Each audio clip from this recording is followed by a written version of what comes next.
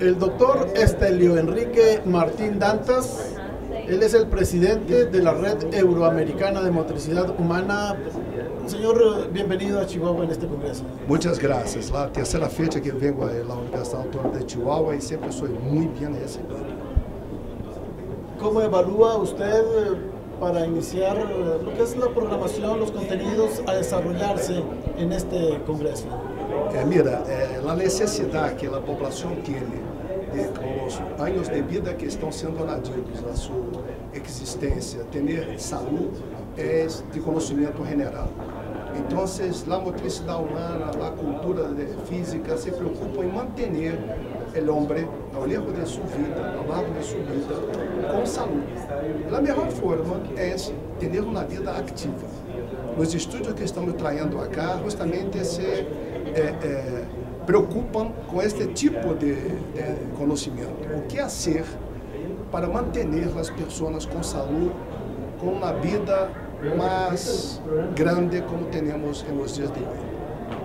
¿Cuál es el reto que tienen las instituciones de educación superior para impactar con la cultura física en sus países eh, respectivos? Estamos hablando de Europa, estamos hablando de América y del mundo entero. El mundo de uma forma general. A Fundação Fulbright hizo uma investigação que mostrou que essa 2030, as três carreiras que mais vão crescer em oportunidade de emprego e nível de remuneração vão ser a engenharia genética, o que seria de se esperar, a robótica e a informática e a educação física, justamente por a necessidade de saúde que a população tem.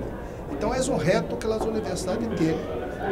É, que profissional temos que formar para que atenda a necessidade da sociedade? Não é mais solamente um profissional que sabe ensinar deporte aos ninhos, mas também aquilo que vai dar saúde e qualidade de vida a adultos e a maiores. É um reto que temos que nos ajustar rapidamente para poder responder. ¿Cuáles son las respuestas que están teniendo a nivel internacional en esta política educativa tan importante que afortunadamente vemos que la red euroamericana de motricidad humana va a la vanguardia, va hacia adelante, como ejemplo este Congreso Internacional. É, mira, temos duas linhas de investigação que estão trazendo novidades a cada dia: a genética e a epidemiologia. A genética se preocupa como nossos genes é, é, trabalham com é, exercício ou sem exercício físico. E a epidemiologia mostra como a população está reagindo à falta de atividade física. Me permita falar isso, temos em México, por exemplo, um, caso grave de obesidade coletiva. A população de México está com sobrepeso, está com obesidade, e o que é pior, os ninhos mexicanos já passaram de los Estados Unidos em obesidade. Então é um, desa, um, desa, um reto que temos que, que, responder rapidamente, produzindo como manter essas pessoas saudáveis e com a vida plena de qualidade de vida.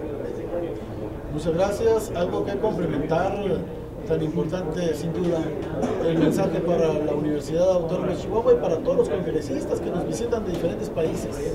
Mira, a Universidade Autónoma de Chihuahua tiene, eh, está ubicada com o nascimento da rede.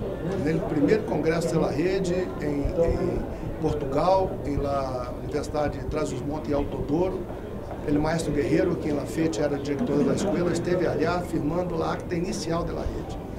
Depois, quando o maestro Flores era diretor, tivemos um congresso que se hizo também em Chihuahua. E por isso desejamos em décimo congresso, um número tão importante como esse, a ser o congresso na Universidade de Chihuahua.